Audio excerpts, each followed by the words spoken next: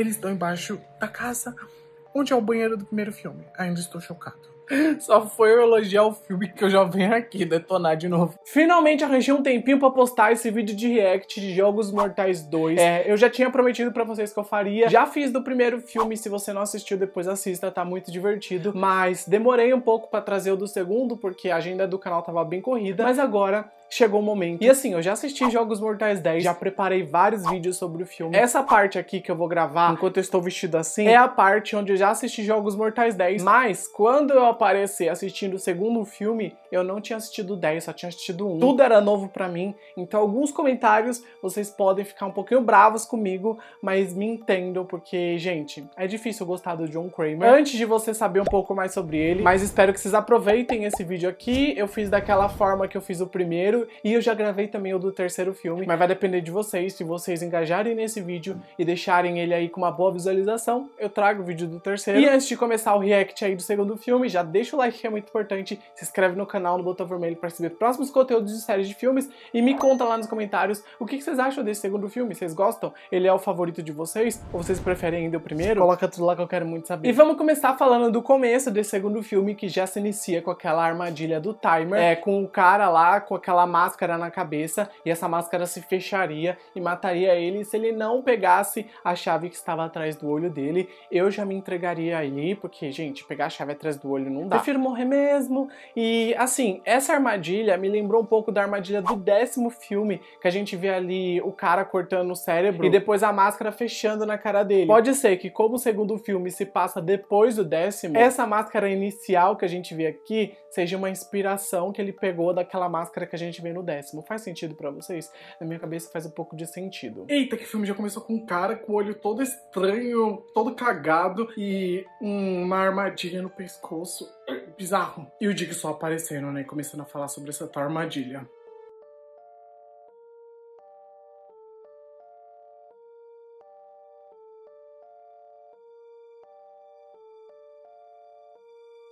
o timerzinho igual o da armadilha da Amanda do primeiro filme, né?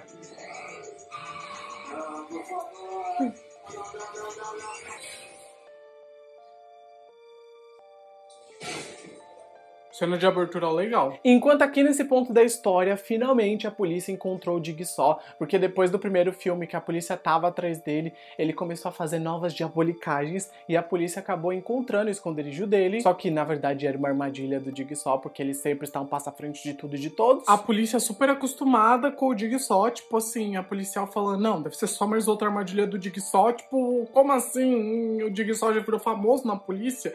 E quem é o detetive Matthews? Ele é importante tantas perguntas no começo desse segundo filme. Pelo que eu entendi, a polícia sabe sobre o Jigsaw, mas ainda assim eles são descuidados e não andam olhando pro chão. Tipo, o primeiro filme, já vimos que o cara lá, o policial, morreu por conta da cordinha no chão. Jigsaw usando as mesmas táticas e a polícia é tão burra que não notou isso. Ah, gente, haja paciência. Haja paciência, meus amigos. E uma armadilha tosquíssima, sabe? Tosquíssima. Ah. Eles encontraram o Jigsaw, eles encontraram o velhote. Huh. Encontraram o velhote, encontraram o velhote. Até que enfim alguém fez algo inteligente, o policial jogando lá o troço pra ver se não tava é, energizada a grade. Inteligente. E já nesse ponto nós vemos que um grupo de estranhos está reunido numa casa. E isso tá muito esquisito, porque assim, são estranhos que depois aí no filme a gente descobre que não são tão estranhos assim. Na verdade, todos eles têm uma ligação. E todo esse rolê aí dentro da casa, sabe o que me lembrou? Do horrível filme Noite do Terror. Aquele filme é muito ruim. Eu sei que tem gente que gosta. Já falei sobre ele em um outro vídeo aqui no canal, porque eu não gosto dele. Mas, gente, esse filme não me desce. Mas me lembrou aqui essa cena aí do povo dentro da casa e não é uma boa lembrança. Só que pelo menos aqui em Jogos Mortais 2 eles desenvolveram muito melhor tudo o que eles precisavam. Meu Deus, um grupo de jovens numa sala. E a polícia sabe. Amanda tá entre eles, Amanda! Agora tudo faz sentido, por isso vocês pediram pra assistir Jogos Mortais 10.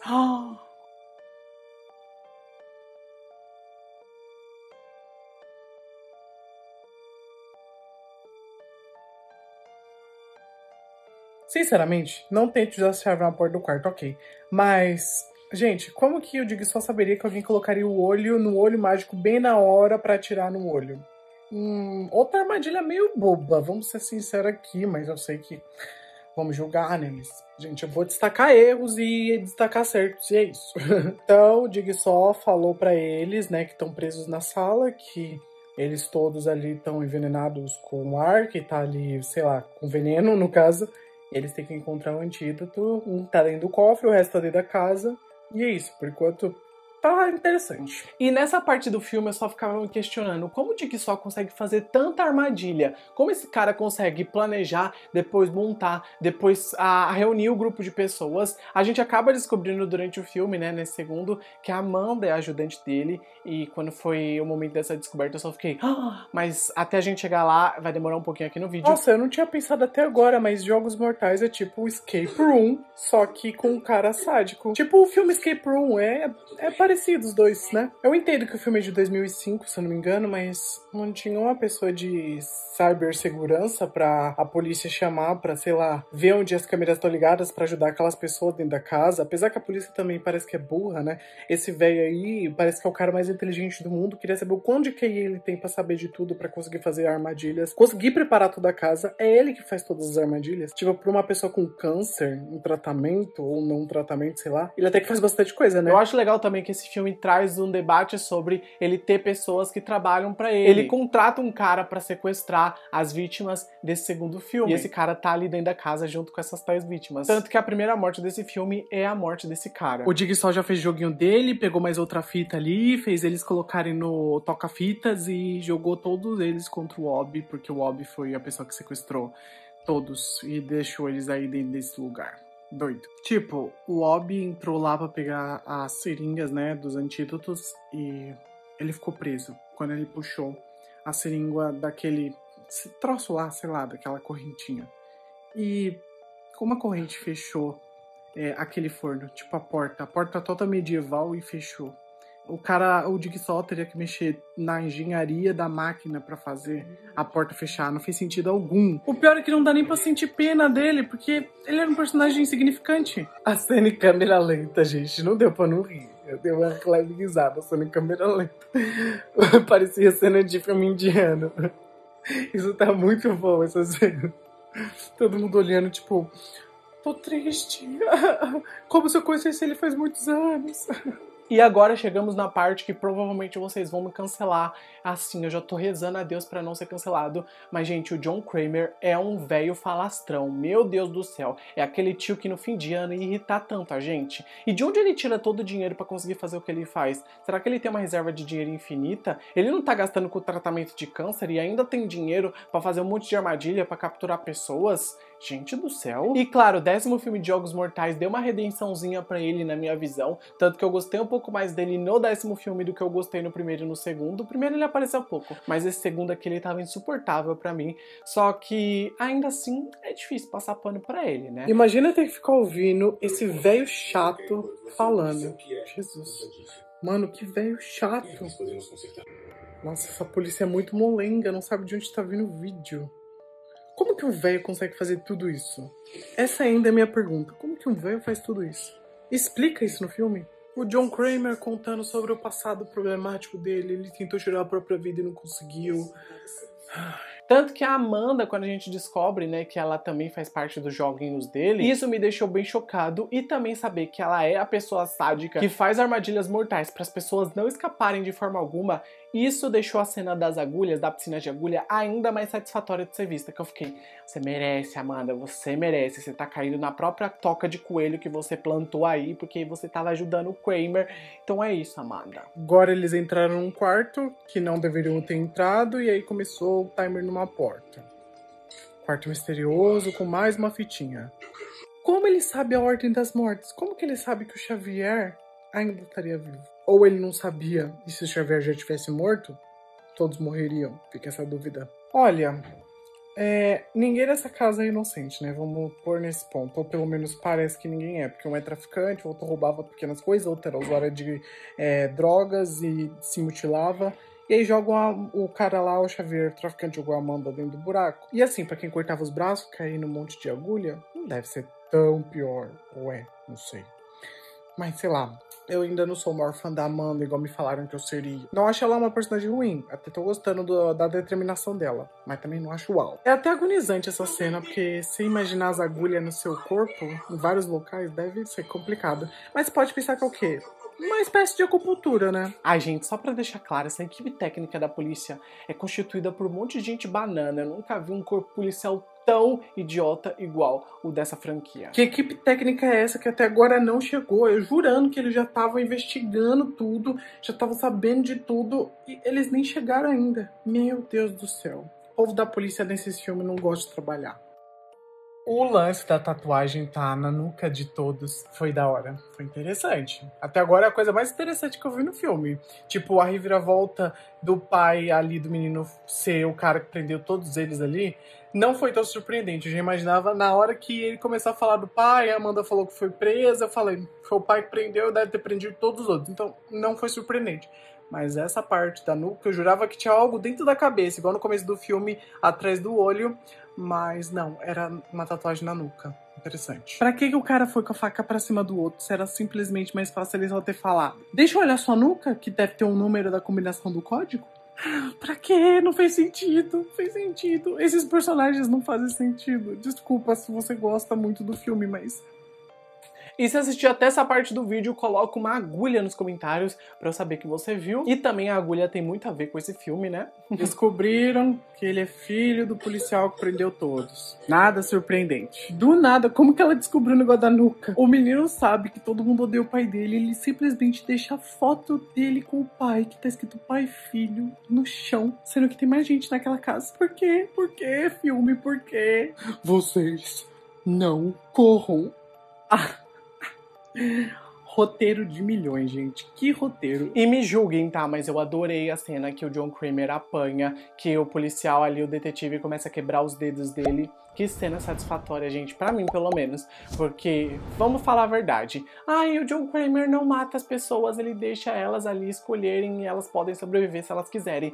Meu filho, colocar pessoas todas juntas ali dentro de uma casa com veneno letal é uma coisa normal de se fazer, que não é mortal. Ai, no final dos contos ele não mata. Isso é matar, só que indiretamente ele tá matando. Ele é um assassino querendo vingança e tá tudo bem. Quando a gente entende a backstory dos personagens, a gente acaba entendendo melhor é, o lado do próprio John Kramer. Então, por um lado, eu entendo as loucuras dele e passo o pano, por outro, nem tanto. Então, é complicado. Finalmente começaram a bater nesse velho chato. John cortar a língua dele pra ele calar a boca. Meu Deus, a cena de quebrar o dedo dele foi maravilhosa. Eles já estão há horas nessa casa e eles não investigaram todos os quartos. A menina foi parar num quarto lá agora. Por que, que eles não olharam todos os quartos antes? Ah, meu Deus, roteiro, roteiro, roteiro. Você me deixa aqui com uma vontade de simplesmente, sei lá, não tem palavras para definir. Ah, e ela enfiando a mão lá no negócio. Tudo bem, ela tá desesperada porque ela tá morrendo aos poucos, mas era uma armadilha. Tava com cara de armadilha e ela caiu. Nunca vi um corpo de policial tão lerdo e tão molenga quanto dessa franquia até agora, né? Porque temos dois filmes, pelo menos que eu assisti. Já já eu vou assistir o 10, mas, gente, ai, complicado. Qual o motivo que a Amanda sempre pega aquele menino pelo pescoço pra, tipo, correr? Ele não sabe o que, que é corre, ele não sabe o que, que é correr. Por que, que os dois caras esperando o outro lá? não podiam simplesmente só ter andado? Outras perguntas que eu nunca vou ter resposta. Não, até voltei aqui, porque a polícia conseguiu quebrar a porta da frente com um chute e eles não conseguiram quebrar com martelo cheio de pregos com maior facilidade. Não, calma. Deve ser a casa errada. Impossível. E chegamos ao último ato do filme com correria atrás de correria, loucura atrás de loucura, revelações atrás de revelações.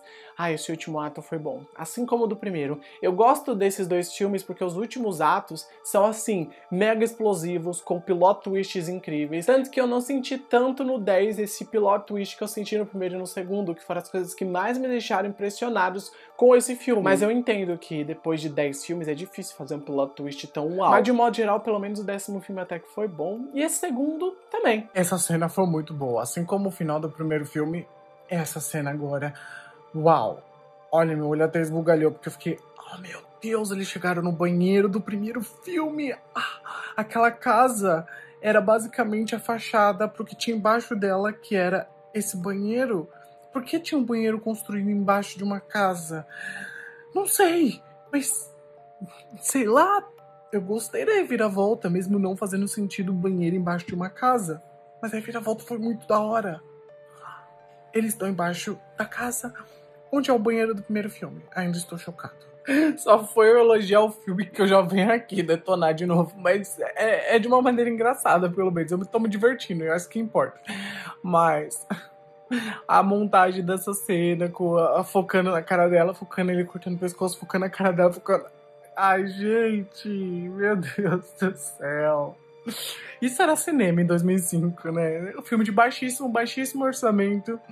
É, e pegaram uma geleia, jogaram aqui na nuca dele. Gente, que cara louco, tipo, não faz sentido algum.